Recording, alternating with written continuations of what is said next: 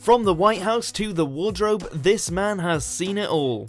Welcome to WatchMojo UK, and today we're counting down our picks for the top 10 Anthony Hopkins performances. His heart was strong enough to survive the grave.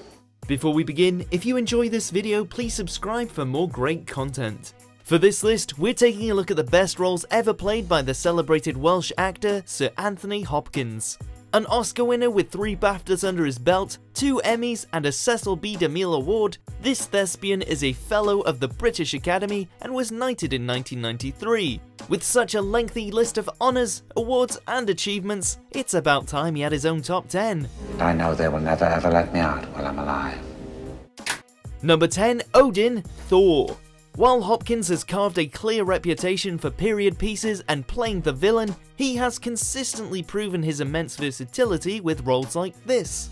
Starring as Odin, Thor's father and ruler of Asgard, he marches into the Marvel Cinematic Universe and delivers a kingly performance. Father! We'll finish them together! Silence! His godly son may be the one with the hammer, but Odin always has the final word, even exiling Thor for the good of the realm. I now take from you your power! Ruling Asgard is a tiring business, but Hopkins has it down to a T, at least until an ambiguous ending to the series sequel, The Dark World. Loki, what did you do? Number 9, C.S. Lewis, Shadowlands. As one of the world's most cherished children's authors, it's difficult to think of C.S. Lewis and not instantly transport through the wardrobe into Narnia. But the writer's own life story is subject for our next film, which sees Hopkins star as Jack Lewis himself. Shadowlands explores the relationship between Lewis and the American poet Joy Davidman, played by Debra Winger, serving as a frank and heartbreaking account of love and loss. What does it say, honey? The magic never ends. Well, if it does, sue him. A poignant story set in and around Oxford University in the 1950s, Hopkins' portrayal sheds new light on the affections, conflicts, and motives behind the man responsible for one of literature's greatest ever fantasies. How could Joy be my wife? I'd have to love her, wouldn't I? Number 8, Richard Nixon, Nixon. I suppose Castro staged the whole thing just to beat you. Buddy, before you join the jubilation of my being beaten again, you should remember the people vote not out of love, but fear. A presidential outing which earned Hopkins a Best Actor nomination at the 68th Academy Awards, but he might never have played the part at all. The likes of Tom Hanks, Jack Nicholson, Gene Hackman, and Warren Beatty were reportedly all sounded out for the role before director Oliver Stone settled with the Welshman, convinced in part with his performance in Shadowlands. And what a good choice he turned out to be. You're not threatening me, are you? Presidents don't threaten, Jack. They don't have to. Balancing between a determined world leader and a man at the very end of his tether, Hopkins uncovers unknown sides to the scandal hit commander-in-chief. The infamous Republican mostly made headlines for the wrong reasons, but this performance earned praise from all corners. My mother used to pray. A lot. It's been a long time since I really prayed. Number 7, William Bligh, The Bounty. I could have passed it off with a laugh and have done less harm.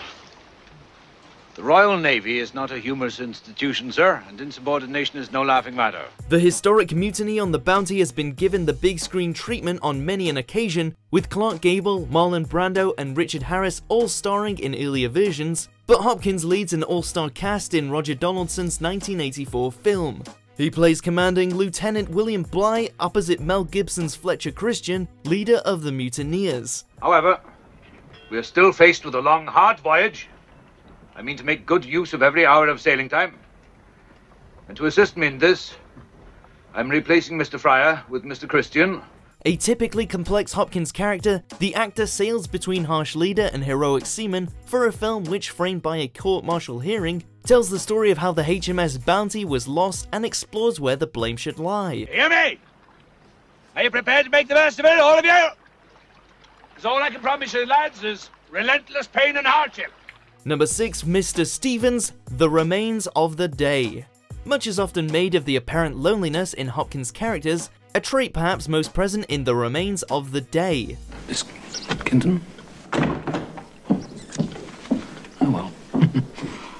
A movie told in a series of flashbacks as Hopkins embarks on a nostalgic road trip, he plays the dutiful butler Stevens, who served an English lord in the years leading up to World War II. However, while going about his business, he remains blind to what's around him, including growing Nazi sympathies within the household, and most pivotally to the story, an emerging romance with another housekeeper played by Emma Thompson. Is it racy? Racy? Are you reading a racy book? Do you think racy books are to be found on his lordship's shelves? What do I know?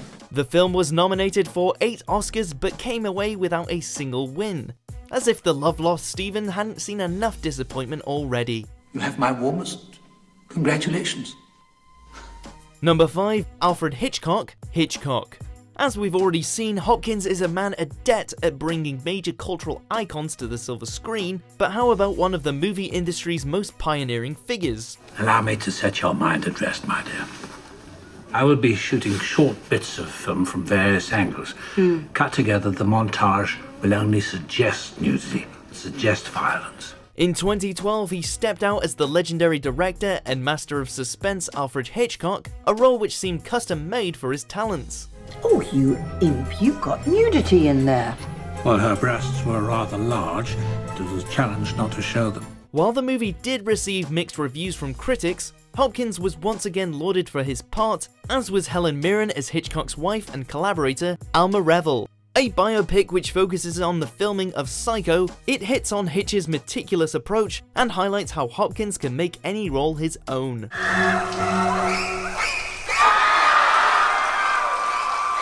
Number 4. Abraham Van Helsing, Bram Stoker's Dracula. When a fabled vampire rocks up in London more than four centuries after denouncing God and embracing darkness, you really do need the right people in your corner. Vampires do exist. This one we fight, this one we face, has the strength of 20 or more people. And you can testify for that, Mr. Harker. In Francis Ford Coppola's retelling of Bram Stoker's blood-sucking romance, it's Anthony Hopkins as Van Helsing who wages a gloriously gothic fight against Gary Oldman's Count Dracula. Always on hand with a ring of fire, crucifix, and a matter-of-fact attitude, he keeps a calm head when all around him are most definitely losing theirs. But more impressive than his slaying of the recently turned, here's yet another worldly accent which Hopkins makes light, wondrous work of. I bring you from shadow into light. I cast you out, the Prince of Darkness. Number 3. Robert Ford, Westworld. Uh, perhaps it is time you had a worthy story of origin. Would you like that, Teddy? A small part of my new narrative? An actor well versed in playing charismatic, enigmatic, and imposing roles, Hopkins was in his element as Robert Ford, creator and director of Westworld.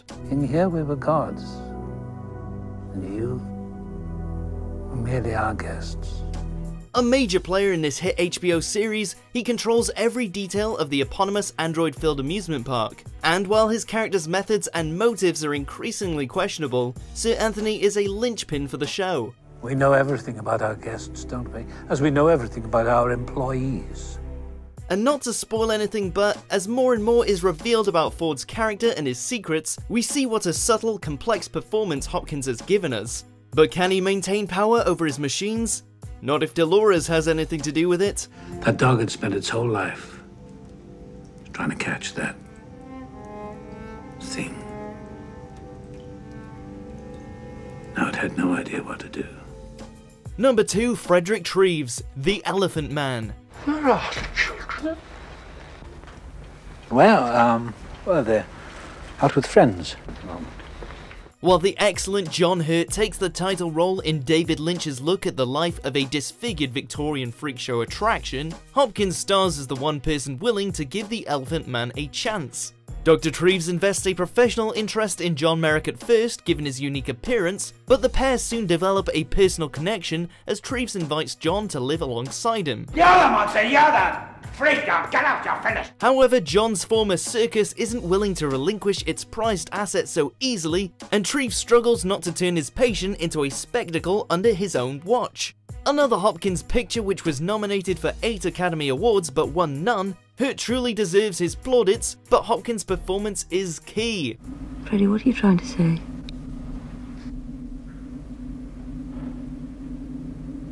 Am I a good man?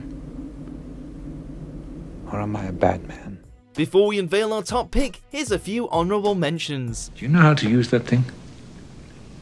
Yes. The pointy end goes into the other man. Shut up! You do it so good. You're even better than the garbage man. Ah! Did Bowman send you the instructions? yes. Good. You will understand we want complete demolition. Number 1 Hannibal Lecter, The Silence of the Lambs. Good morning. In terms of iconic movie characters, today's winner has a lifelong seat at the topmost table, just make sure he sticks to the set menu. The brilliant doctor turned brutal cannibal, Hannibal Lecter may spend much of his time behind bars in a high security prison, but he can still get inside your head. Especially if you're a trainee FBI agent a la Jodie Foster. A census taker once tried to test me. I ate his liver with some fava beans and a nice Chianti. A serial killer with a taste for tasting his victims, Hopkins brings him to life by continually towing between intellect and insanity, remaining just as unhinged for prequels and sequels too. Today's winner, Lecter, is Hopkins' most famous role and a part which did earn him a Best Actor Oscar. Bravo, sir, bravo. Oh, and Senator, just one more thing. Love your suit. Do you agree with our picks? Check out these other great clips from WatchMojo UK and subscribe for more great content.